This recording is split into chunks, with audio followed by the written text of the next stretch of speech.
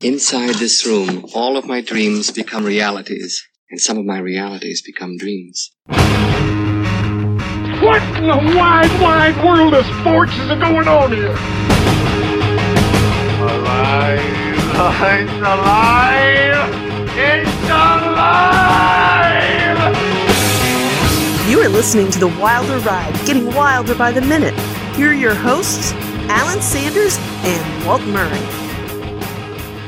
Hey everyone, welcome back to the Wilder Ride, where we are getting wilder by the minute, a podcast that celebrates the films of Gene Wilder one minute at a time. And we're in the midst of season two, and we are diving into Blazing Saddles one. Put it there, baby, minute at a time. I'm your host, I'm Alan Sanders. I am your co host, Walt Murray. And it is my distinct pleasure to welcome for the very first time to our podcast, Tierney Steele. Tierney, welcome. Hello. Great to have you joining us here on this. I know you've been doing uh, your own podcasts as well in the movies by minutes format. I think you've uh, been Return to Oz, The Never Ending Minute, The Mash Minute, Joe versus the Minute. I mean, you've you like doing this. Yeah, I uh, I keep doing two at a time, which I love them all, but is a mistake. Just in case anyone was looking for life advice, don't do two daily podcasts at the same time. oh my god! Oh my gosh! No, that's crazy. So yeah, do you have help editing, or do you do all that as well? So uh, I am editing Mash and Joe versus the Minute. Um, right now, I we haven't started recording Joe versus the Minute, so I'm doing okay. I'm keeping my head above water, but um, yeah, when I was on Return to Oz Minute and Never Ending Minute, that was my first podcasting. I, I think I guessed it on one because I knew I was going to be doing them, and I didn't do any of the editing. I my co-host on Return to Oz Minute, Mike Carlucci, is uh computer, you know, I'm not worthy. Please just fix this person that I go to in my life. and then um, Thomas Howarth from the Neverending Story literally works with audiological equipment as his job every day. So I benefited greatly from being able to rely on them. That's fantastic. And we had Yeah. Thomas actually as an earlier guest this season, and he's a he's a fun guy to have on the show as well. Oh, great. Yeah, I was trying to remember because I when you guys started this, I was like, what a great idea. Instead of following a single franchise, follow the actor, you know, director, whatever, you know, like, oh, what a cool idea. And I was just like, oh, it's too late. You've already got your guest lined up. Never mind. I'm good here. Well, I, I don't even know where it kind of hit, but sort of out of nowhere, I just realized I've always been a Gene Wilder fan. Walt's always been a Gene Wilder fan, and we thought, you know what? He doesn't really have a franchise, but he's got such an eclectic body of work that so many people love. Why not just dive into an actor's uh, portfolio? How, what order have you guys, or is this like a surprise that I shouldn't be asking you on the air? But um, what, what, how did you determine the order you guys are covering things in? it's a wild ass guess as we wrap up each right, season. I love it. Yeah, we just we put a put a few out on the table and then we arm wrestle over which ones. So uh, gotcha. so I've lost both of those. No, you did not. You won season one. Well, and that was kind of an easy one. That was almost fish in a barrel because Young Frankenstein is such a uh, a great film, and you know if you talk to anybody who grew up in the '80s, that's going to be one of their top favorite films. So so that one made a lot of sense for us to start with. My sister is a 90s baby, and we, a couple years ago, we were coming up with, you know, what are the three, five, whatever, however long you've got to kill, uh, movies that someone has to see that your family is going to quote so often and so out of context that if this person hangs out with you guys and has not seen these movies, they are going to be so confused. And Young Frankenstein was in there, and she was like aghast that I had not suggested it already. She was horrified. Wow. Yeah. We were just like, all right. Anytime someone starts being part of the family, it's like, sit down. So there's this movie called Arthur. You're going to watch it because otherwise we're going to talk about fish bathing together and you are going to be so lost. And then I, I totally forgot because my sister, she, she literally, she's like, you got to put Young Frankenstein on there. I'm like, do we really quote it that much? And she just looked at me and she goes, and then she just started singing "Roll, Roll, Roll in the Hay" with the accent, and I was just like, "All right, all right, it's it's on the list." Yeah. Point, set, match. yeah, Blazing Saddles wasn't as much. Like it was one that the grown-ups knew and loved, but that they weren't always showing the kids as much. Well, it, different a, a different tone. A Young Frankenstein, definitely a little safer. It's a Yeah. retelling or sort of a parody of the original Frankenstein story.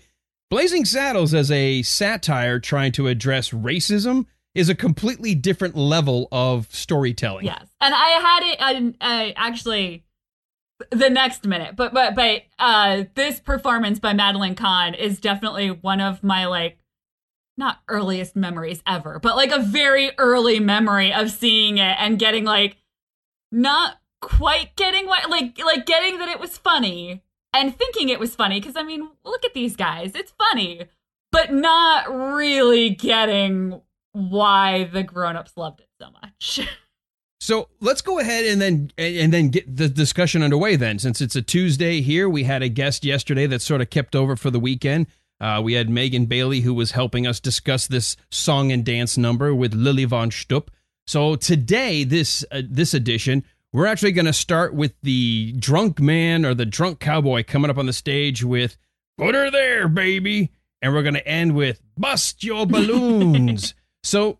Tierney, before we dive into the minute, we do this with every first time guest with the movie. You were talking about, you know, Young Frankenstein was one of those movies you saw maybe a little bit more. You, you the adults were the ones kind of quoting Blazing Saddles. At what point did you really start to understand some of the uh, more adult layers to Blazing Saddles? I would have watched it in high school a couple times and then I- see I was a huge Mel Brooks fan, but Blazing Saddles for reasons you've mentioned, it's not on TV as often. And and if you're a Star Wars obsessed geek, it you're gonna put on Spaceballs more often. If you, um, like me, decide that Anne Bancroft is the greatest thing that's ever happened, you're gonna put on To Be or Not to Be more often. Which, yeah, I got notes about that because I love it. Um, it's it's really weird. Like I had definitely seen it in high school, and I it was a Mel Brooks movie and one of them, but we were always putting on other Mel Brooks movies. Like like we were putting um uh, in college the huge one was History of the World Part 1. My friends and I were obsessed with that movie.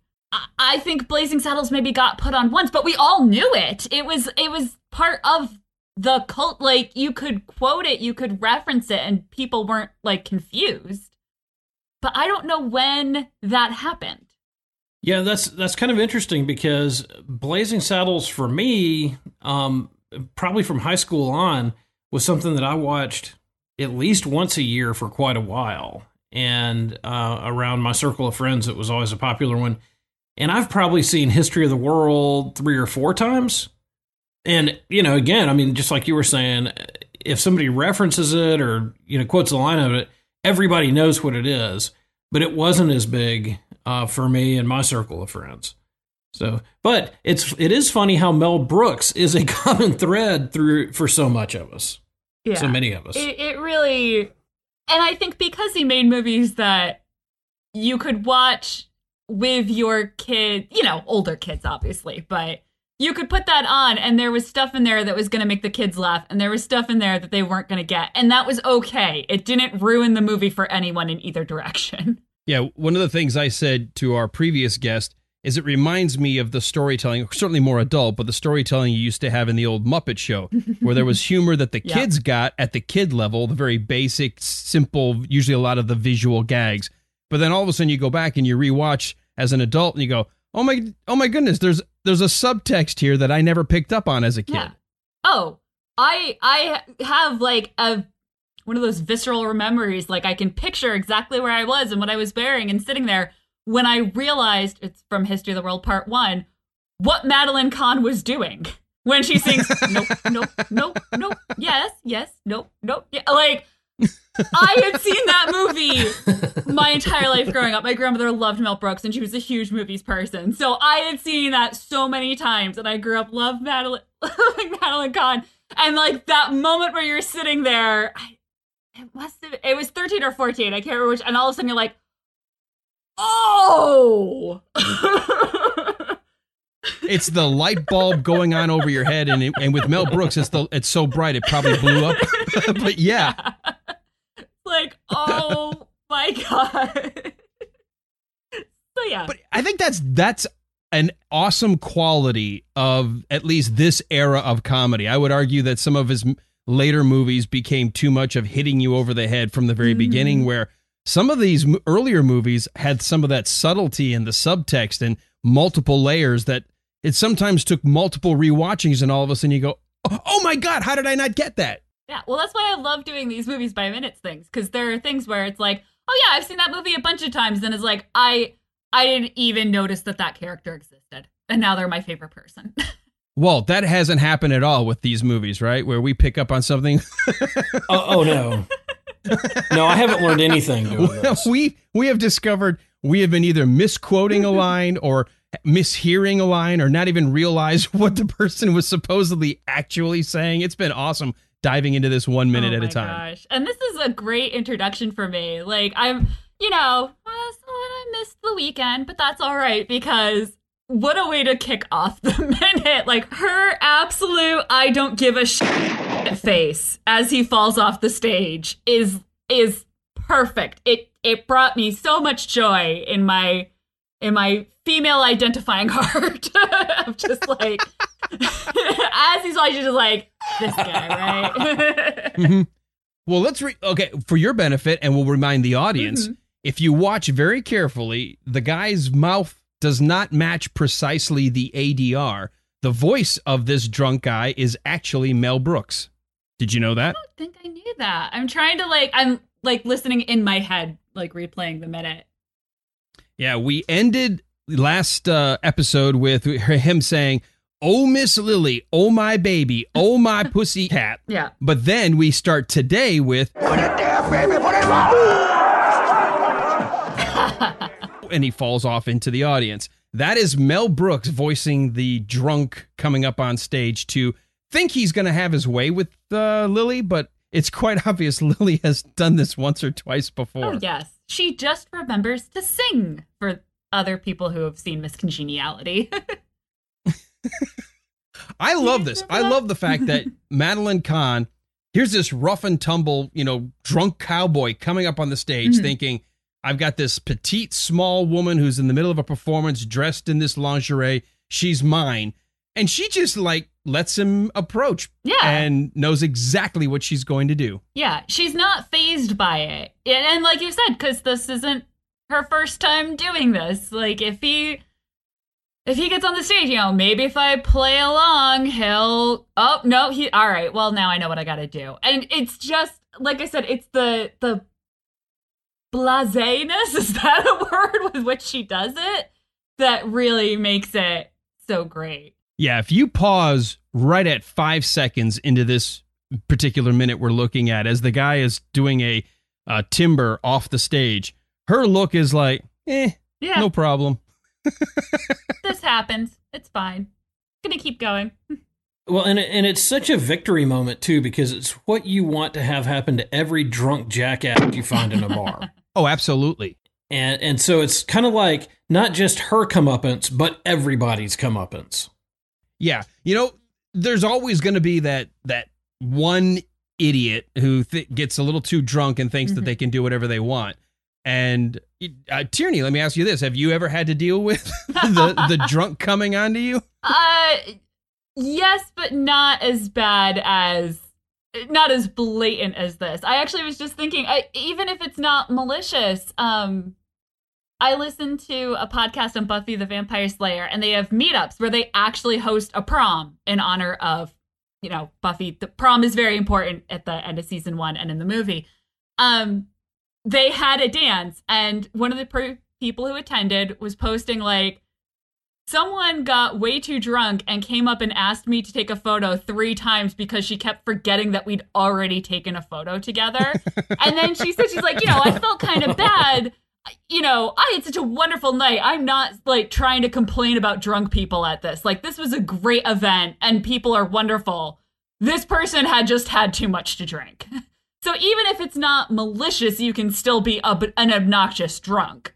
Now Right. you add his intentions and his assumptions about her and it just it pushes it to that next level where it's like okay everyone can be obnoxious when they have too much to drink oh and you're an ass like great cool good combo get off the stage um and she handles it so just wonderfully. It's- just it's like it's no big deal. It it really is, and it reminds. So I um, I was just doing like plays in high school. I never had to pull any drunks off stage, but I remember in my very first performance that I ever stage managed, I realized I was on the wrong side of the stage, so I just like real quick ran across before the curtains opened and everything.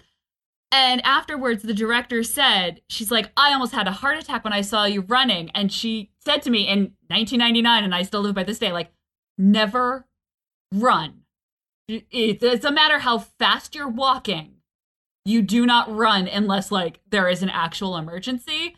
And so that there have been times where it's like, all right, uh, you know, you got to keep the calm, you know, don't run, just walk as fast, do what you need to do, but do not run. And I feel like Lili kind of embodies that of like, I'm not upset. This is something that happens. Here's how I'm going to deal with it. And then I'm going to move on with my song. like, Yeah. It's almost like she's really tired. all right, I walked She's right tired of playing this game. well, and when she does start singing, you can see she's sort of looking down where he must have crashed into the front row of the other cowboys. we don't hear anything. We're not hearing you seeing anybody getting upset. She mm. just kind of like nods her head and goes, "There you go. I'm going to keep singing." Yeah.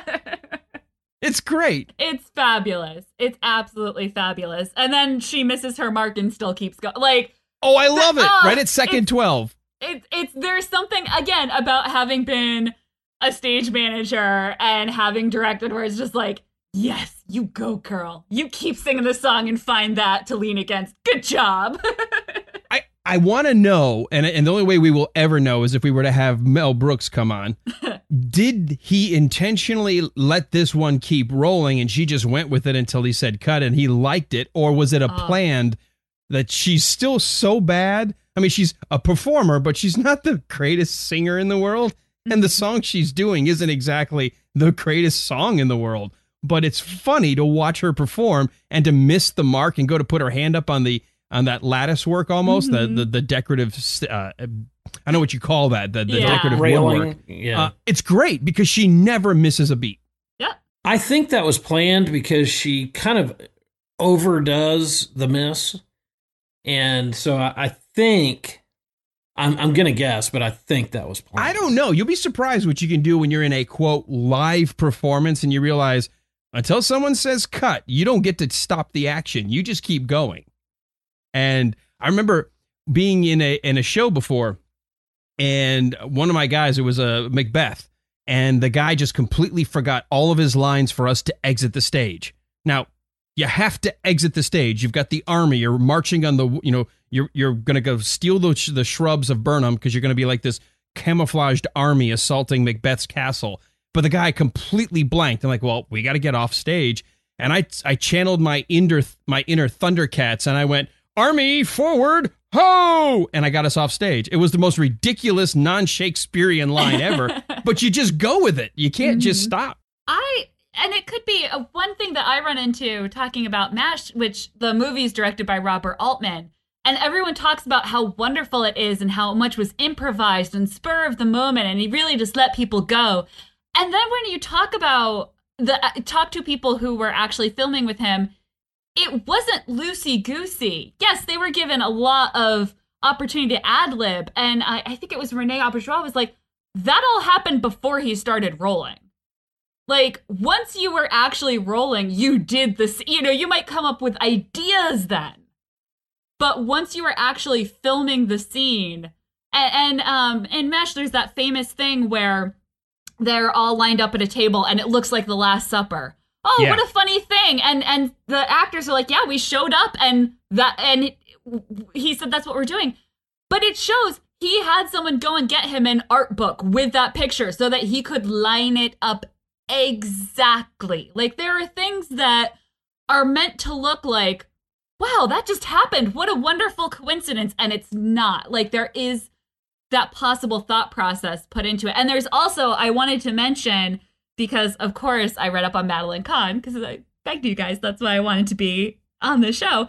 Um, and because she was a trained opera singer, it reminded me of I saw I think it was a Canadian ballet company, but now I'm blanking on it. They did Alice in Wonderland, and the Queen of Hearts does a solo, and the whole point is how terrible she is.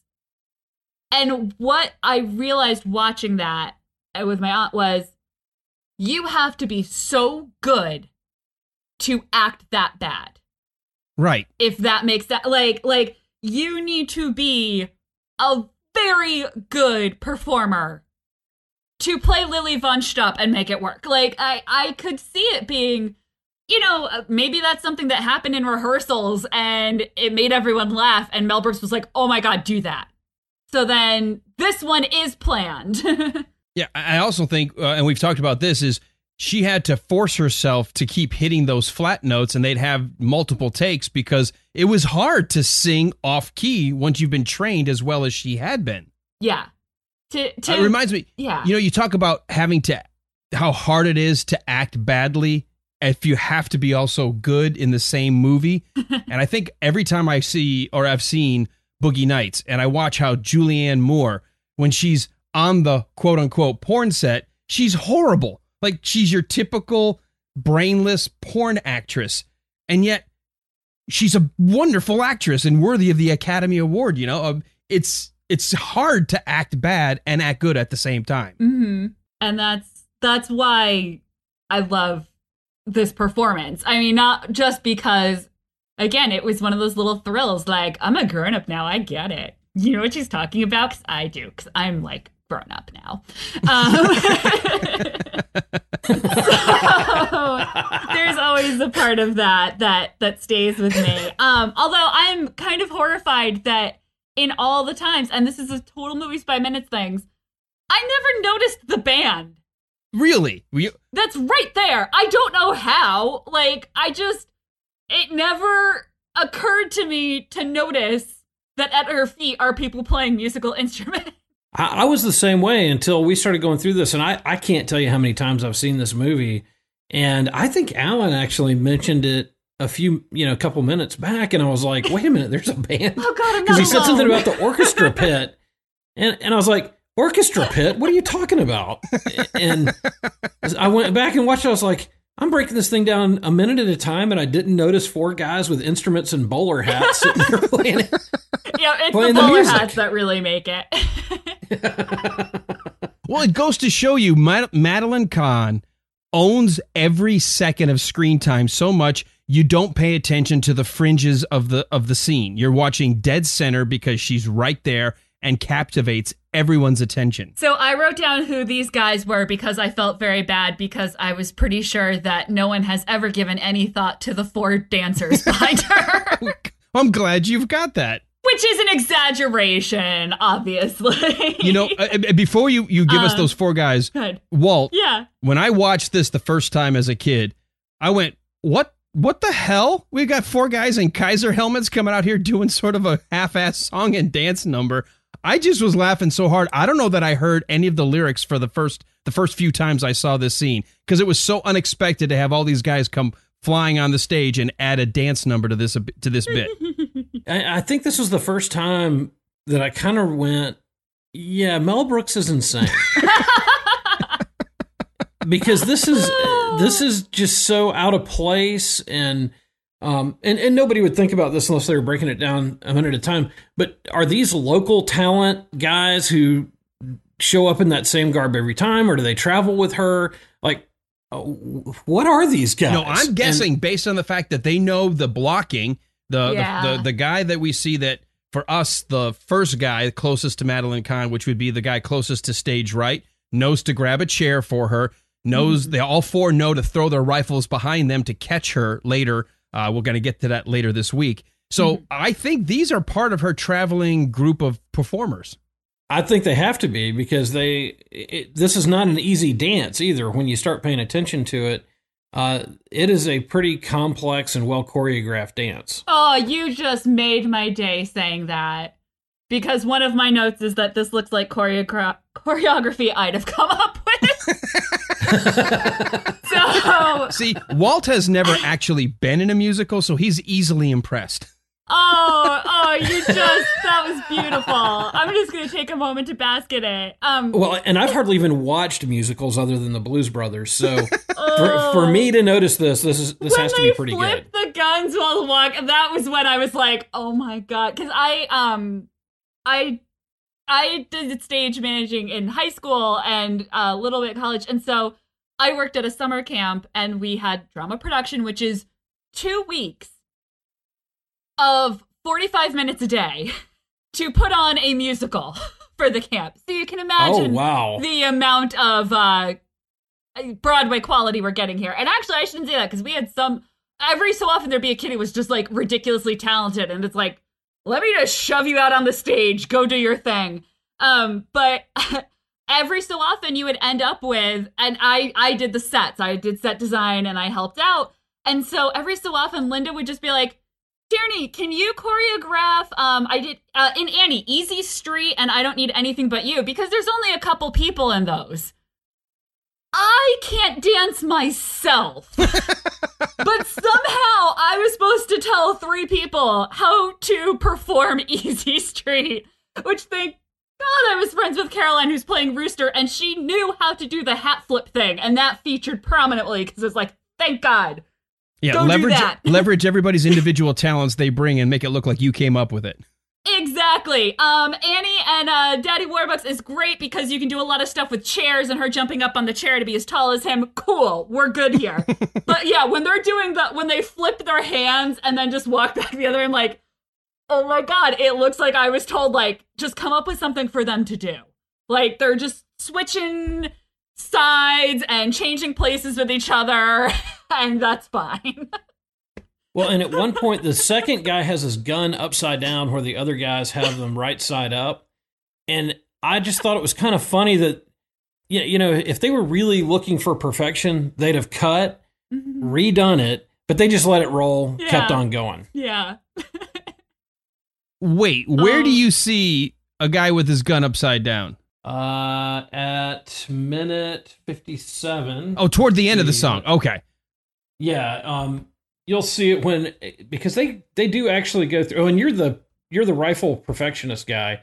Uh, okay, here it is at right at min uh second 28 29 uh let's see actually yeah 29 you can see the other the two guys on the far right have theirs right side up and the other guy has his upside down and the and the fourth guy's getting the chair Oh, when he's when they're doing the little shuffle back and yeah, forth. little oh, Yeah. Gotcha. shuffle. It's Okay. upside down. And so not Yes. coming in off his shoulder because they all had it You correctly off their shoulder. I see what you mean. Cause when he puts it down, yeah, he flip he flips it while Yeah, they're wh- doing wh- their shuffle thing. Exactly right when it's at He's- waist level. Yeah, because I'm paused on second 30 and it's flat, like parallel to the ground. right. So Okay. he but must then be as soon as they mid-flipping continue it. the move, Yeah, they're all and, back and you can see the action is actually facing down.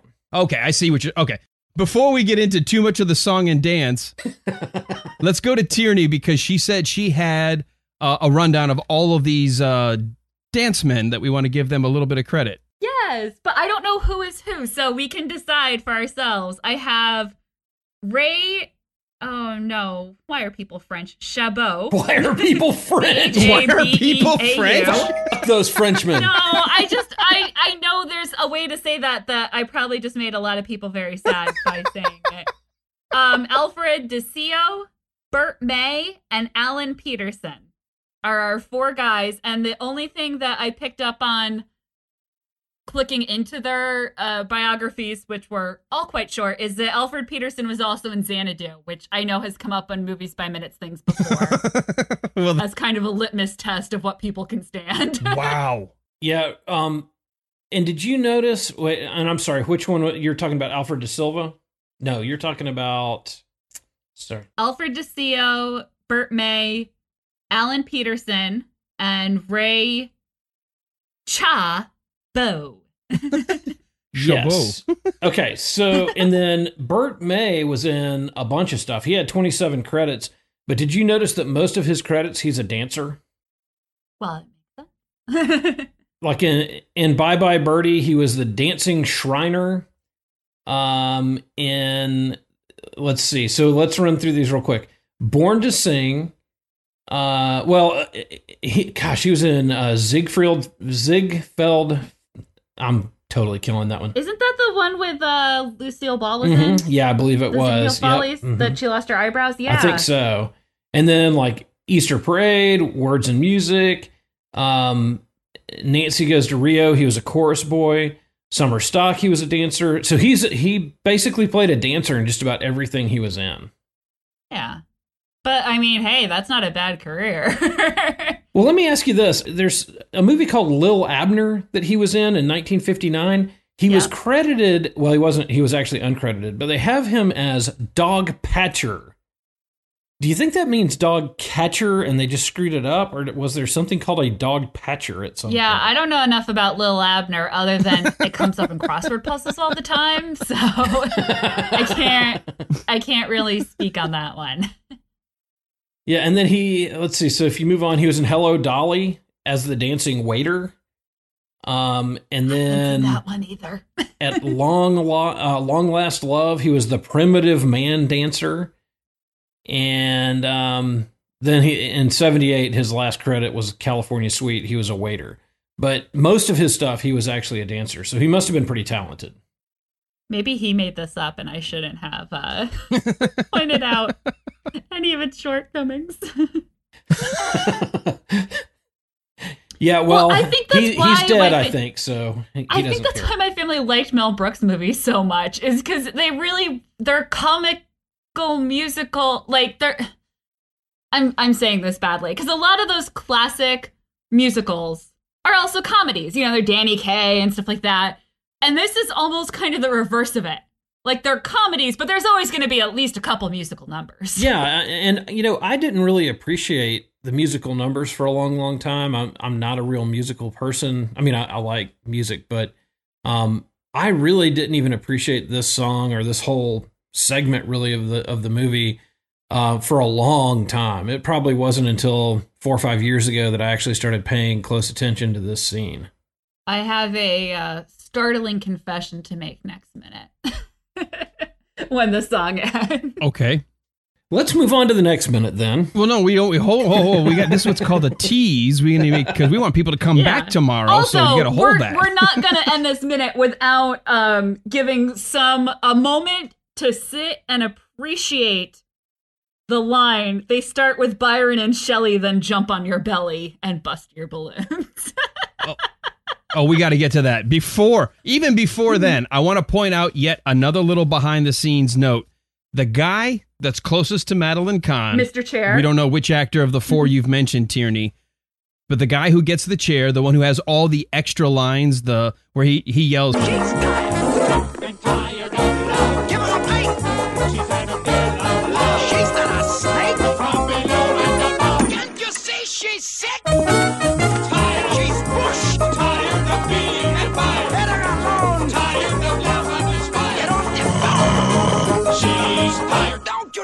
she's poop? "That's all Mel Brooks."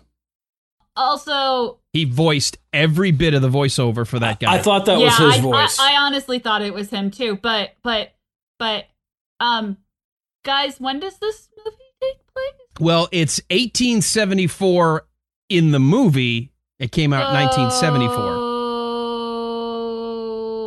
Oh, how do people get off the phone in 1874? Well, they wouldn't. Oh, Mel. Oh, Melly, Melly, Melly. Ooh. yeah, see, there are a couple of these things that really destroy the whole movie for me, and that's another one. Well, it's ruined. Pack it in. You guys had a good run. Yep, I'm done. Yep. Here we stop at minute 57. That's it, folks. Oh no, wait, we've got to stop at minute 58 because I've got to hear this confession. yes, we can't we can't not make it till tomorrow. I mean, we've got to get to hump day at least, okay? There we go. Yeah, we'll do, Um, we'll do one so more. anyway, for the audience, if they've seen this movie, which I had hundreds and hundreds of times, had no idea Mel Brooks did that voiceover as well. uh, and does a really good job in the ADR matching it up because it's really Hmm. hard to see any mismatches of the mouth movement. It's it's really well done. It's almost more of you can recognize that that is Mel Brooks' voice, and you look at the person and you're staring. They're like, but that's not him. You know, it- the opposite of how you usually can tell something has been ADR'd. Right. And you can really tell because when the music stops on the line, don't you know she's pooped? It's 100%. If you if you're now Yeah. if you now that I've told you, you go back and listen you're like, "Oh, how did I miss? That's Mel Brooks." yeah, I I I always thought that was was his voice because again, I at first I thought it was him, and it makes sense. And then I was like, wait, no, that that can't be. So, um, but yeah, and and then I just got distracted, being really sad because I feel like, given a lot of the things that I like in life, I should like the romantic poets more, and I just don't. Really? So, even starting with Byron and Shelley. And I was like, oh no, but like Virginia Woolf's Flush is such a great book. And I'm like, that's the Brownings. Like, I mean, there's just not. Uh... Byron and Shelley, I just. The whole floppy hair. Everyone has syphilis. We're in love with love. And I'm just not. I'm not feeling the romantic poets era at all. so the fact that they get name dropped here and it's like, and jump on your belly and bust your balloon. I'm like, yeah, all right. You and me, Lili. Well, you know, I there is actually one of Shelley's po- poems that I really do like. It's the one that goes, "There once was a man from Nantucket." no, that's not him. oh, that's not Shelley. Oh, hmm. No. People make that mistake all the time. Don't worry. And I, I'm Oh not- my There lord. are amazing poems by all these people, and like the fact that Mary Shelley was able to make Frankenstein do that, like there's some great stuff there. There's just I have to understand. I was an English minor, and I knew English major boys that tried, and it was just like, no, like all these people are disease racked and treating each other terribly. Like they're writing very pretty words, but no. like please do not use them as your idol. That's bad. yeah, no, no, definitely not. Well, It's kind let of me like point out figures. something for uh, Lord Byron, since that's the first. He goes Byron and Shelley. So Yep. Byron, obviously a, a, a huge body of work, but I think the one that's most important, and and maybe the seventy four audience, depending on their classic education, might have known this. I know, I as an English minor in high, in uh, in college. Mhm. Uh, Don Juan was considered one of his biggest and most important works. It was an opus that spanned 17 cantos and is considered one of the most important long poems ever published in English since John Milton's Paradise Lost. And ironic that Don Juan gets the, you know, we all know that Don Juan is the guy who seduced, a, you know, a thousand women. Mhm. That we would know that Byron being quoted here as his biggest work was about a guy who used to seduce women. And here's Madeline Kahn singing a song about being seduced Yeah. or being with men. Yeah. So there's a, there's a little bit of a tie in right there. Hiring.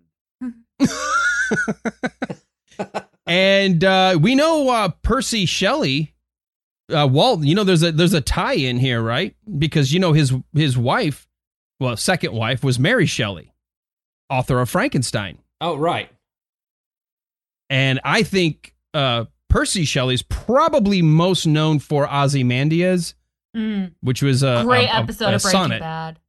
Ozymandias, uh, which for our friends who are doing the uh, the Watchmen minute, that's the name of one of the uh, uh, one of the heroes in there, Ozymandias.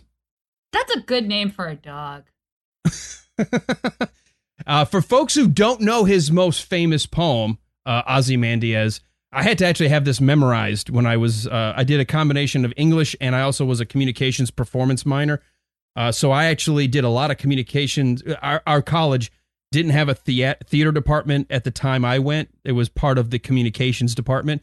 So I did a lot of the performance and communication classes at the same time. And it's a fantastic poem. Uh, it's, it's, it goes, I met a traveler from an antique land who said, Two vast and trunkless legs of stone stand in the desert. Near them, on the sand, half sunk, a shattered visage lies, whose frown and wrinkled lip and sneer of cold command tell that its sculptor well those passions read which yet survive, stamped on these lifeless things, the hand that mocked them and the heart that fed. And on the pedestal these words appear My name is Ozymandias, King of Kings. Look on my works, ye mighty, and despair. Nothing beside remains round the decay of that colossal wreck, boundless and bare. The lone and level sands stretch far away. There we go. It is, in fact, a sonnet written in iambic pentameter and follows in the Shakespearean style. So now, th- th- I told you, I, I told you both, we actually start to do this, and we have to like dumb it down at the end to make people not like not freak out. All right. Well, I mean, I said it was a good name for a dog. I referenced Breaking Bad. Uh, I was going to say that that episode of Breaking Bad was awesome. Yeah. Um, so we've got our tie-in, Walt, that his uh, second wife helped us uh, write or, or help write the the story that would give the next movie, the one we did for season one, Young Frankenstein, its chance. no, she she wrote it. Yeah, it's all hers. It's hers. Damn it. And uh, this poem, Ozymandias, I still love because it's always about no matter how great you think your works are, no matter how great your buildings or your accomplishments, at some point everything just disappears into the lone and level sands of the desert. So once again, we've got an analogy. Everybody would have probably known, or if you're even somewhat schooled, yeah. uh, that Ozymandias is about you know the end or the the everything comes to a completion to an end. Whether she's tired or everything below the waistline is kaput, which we'll get tomorrow. Um, it's another allusion there from the from one of his works. So I love the Byron and Shelley, and then jump on your belly and bust your balloons. It's a great way to end this. and come to p- completion. oh boy. Walt, did I lose you? Are you like asleep? Oh, who me? No, I I always uh, love hearing classic poetry in my podcasts. In your Mel Walt Brooks often podcast. quotes the line from Firefly. I wasn't I wasn't uh, gifted with an abundance of learning. well, I was going to say my my other uh, favorite Ozzy related uh, Ozzy Osbourne. uh, crazy, but that's how it goes. But that's how it goes.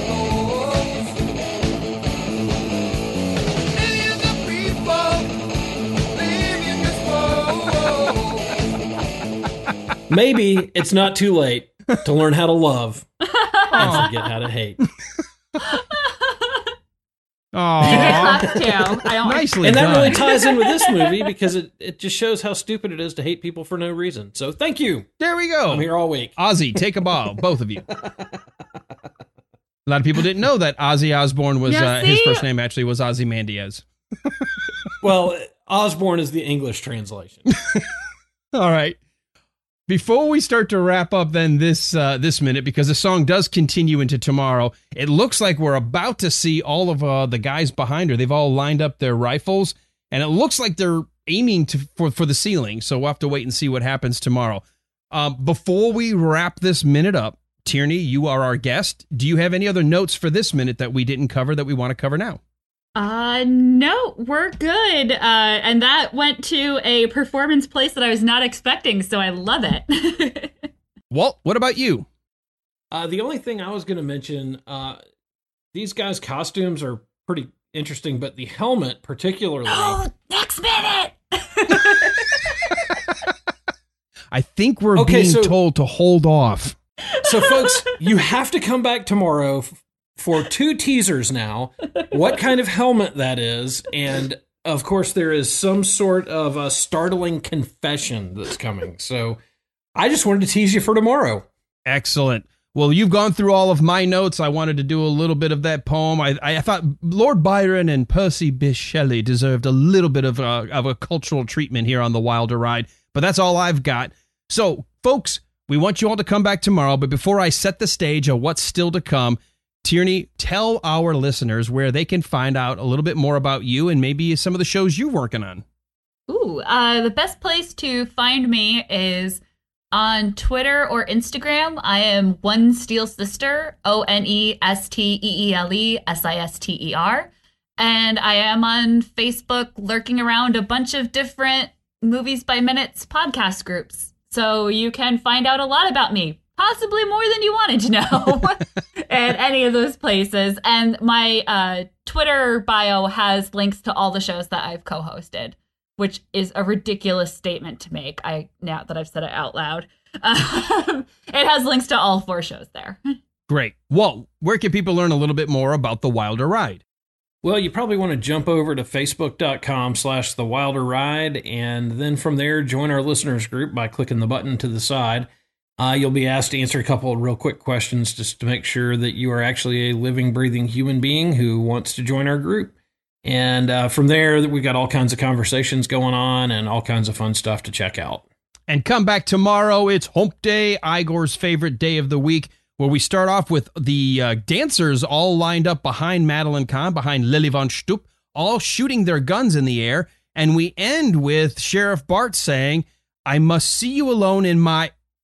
And I don't know who he's talking to or what about. So you're going to have to come back tomorrow, not just for the revelations of Tierney Steele, but to find out what happens in minute number. Oh, shit. in minute number 58 of this, The Wilder Ride. Man, we, we really went off the rails on a crazy train there, didn't we? But that's how it goes. you know, millions of people tuned in, or, or tens of listeners, but, And now they're living as foes. yeah, and they're all. I just want to see how long this Maybe- goes. It's not too late to learn how to love and forget how to hate. and hit the subscribe button and listen and give us five stars. in the immortal world. And a comment, please. Shelley. like and subscribe.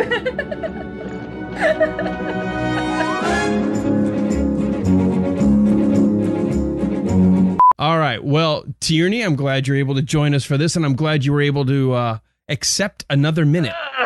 yes, I can fix my chair so I'm actually facing my microphone. That'd probably be helpful for you guys, huh? That's awesome.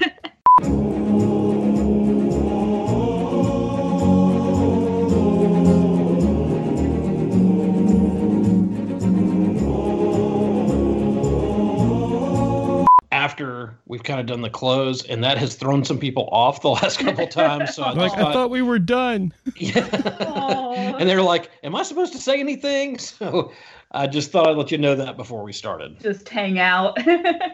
Yeah, and if you feel like jumping in and saying something, you can. If not, you know, that's fine. okay. Okay. Yeah, this is All right. normally Walt and I reconfirming to all of our audience members we're not anywhere close to smart, and and we don't want anybody to mistake us for that. If they don't figure that out in the previous 35 or 40 minutes, Aww. You know, every now and then we really throw people with some knowledge, and then I feel like we have to reset the table back to one. You know, so yeah,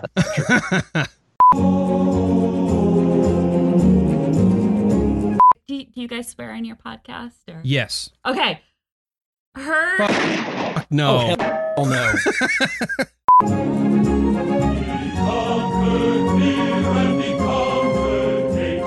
So yeah, when he takes it off his shoulder, he must have like kind of over rotated it. I, I think that's exactly what he did. Yes. Okay. Okay.